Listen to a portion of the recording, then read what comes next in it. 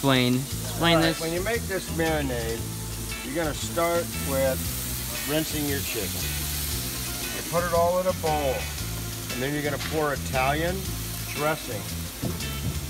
That's your base of the marinade. And then I add garlic and a seasoning called kickin' chicken. And I mix it all together. And then when it sits there for two to three hours, if you can, overnight, and you'll end up with a marinade that's like this, and you'll have more flavor.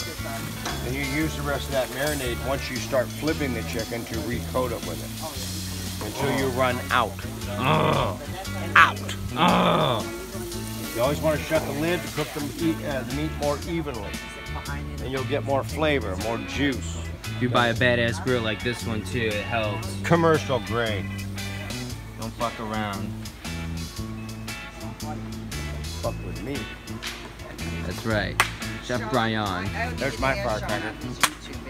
Happy 4th of July. On your YouTube, when I